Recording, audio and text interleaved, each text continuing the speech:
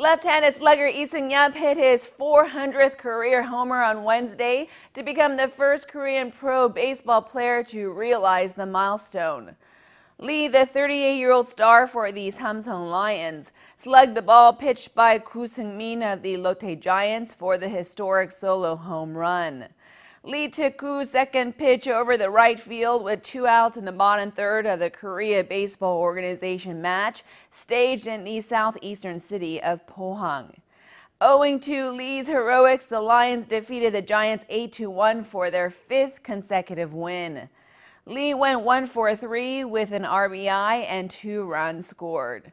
After hitting the milestone homer, Lee, who is already the KBO's career leader in home runs, said, As soon as I made contact, I felt I'd done the job.